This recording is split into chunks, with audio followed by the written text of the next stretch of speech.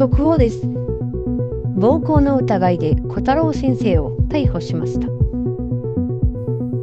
警察の発表によると小太郎先生は3月某日東京都歌舞伎町路上にてたまたま道端で出会ったぬいぐるみといい感じになったと思いきや連絡先を聞くことができず無理やり携帯を奪おうとしたところ相手に抵抗されたため鋭い爪と牙でぬいぐるみを傷つけてしまった模様警視庁は余罪があるとみて捜査を続けています